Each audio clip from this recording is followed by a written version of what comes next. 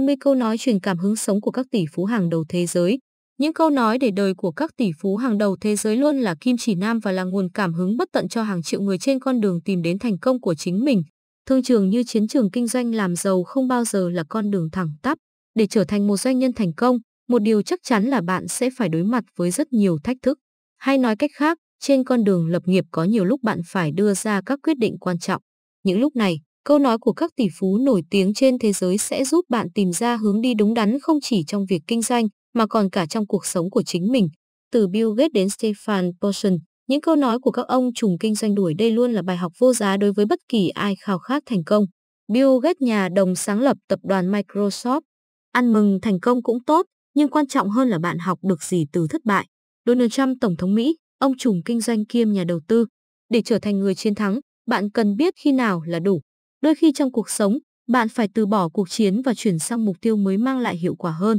Lý Gia Thành tỷ phú giàu nhất Hồng Kông, tầm nhìn có lẽ là sức mạnh lớn nhất của chúng ta. Nó giúp chúng ta nhận thức được sức mạnh và tính liên tục của tư duy qua nhiều thế kỷ, giúp chúng ta hướng đến tương lai và định hình những điều chưa biết. Andrew Carnegie ông trùm thép Mỹ. Khi tôi lớn lên, tôi ít chú ý đến những điều người khác nói. Tôi chỉ quan tâm đến những gì họ làm. Tony CEO công ty giày và quần áo trực tuyến Zappos. Đừng tham gia cuộc chơi mà bạn không hiểu, cho dù bạn thấy những người khác kiếm được rất nhiều tiền từ nó. Henry Ford ông chủ hãng xe hơi Ford Motors. Không ngừng sáng tạo thì sẽ không sợ bị diệt vong. Jeff Bezos, ông chủ trang bán hàng trực tuyến Amazon. Nếu bạn không dám bị hiểu lầm hay chỉ trích, thì hãy làm ơn, đừng làm gì mới mẻ hay sáng tạo cả. Lakshmi Mittal, ông trùm thép Ấn Độ. Công việc khó khăn chắc chắn sẽ phải trải qua một chặng đường dài. Ngày nay có rất nhiều người làm việc chăm chỉ, vì vậy bạn phải chắc chắn rằng bạn làm việc chăm chỉ hơn nữa và thực sự cống hiến hết mình cho những điều bạn đang làm và những mục tiêu bạn đã đặt ra. John D. Rockefeller, ông vua dầu mỏ Mỹ.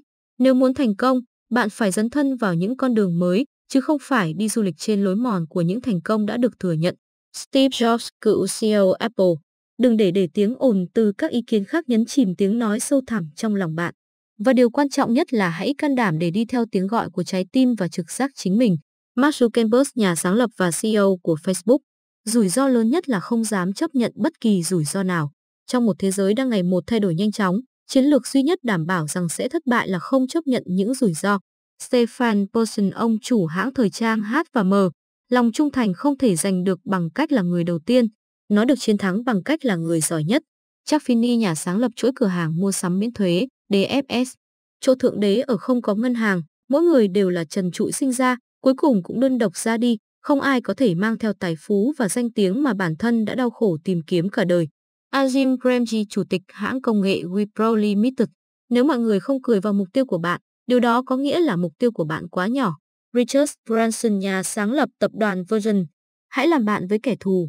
Đây là nguyên tắc không chỉ được áp dụng trong kinh doanh mà nên được áp dụng trong cả cuộc sống. Mark Cuban doanh nhân kiêm cá mập Shark Tank. Tiền hay mối quan hệ không quan trọng, quan trọng là sự sẵn sàng làm việc cần cù và học hỏi mọi người. Và nếu không thành công, bạn cũng có thể học hỏi từ những gì đã xảy ra và làm tốt hơn vào lần kế tiếp.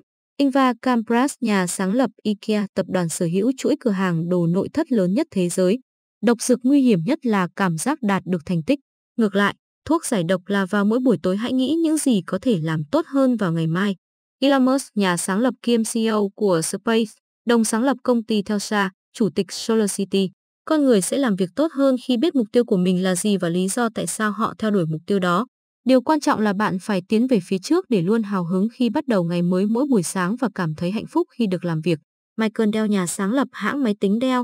Cho dù bạn đã tìm ra lĩnh vực nghề nghiệp yêu thích của mình hay vẫn đang tìm kiếm, thì niềm đam mê sẽ là ngọn lửa thúc đẩy công việc của bạn. Warren Buffett CEO của Berkshire Hathaway. Tốt hơn hết là hãy kết giao với những người giỏi hơn bạn.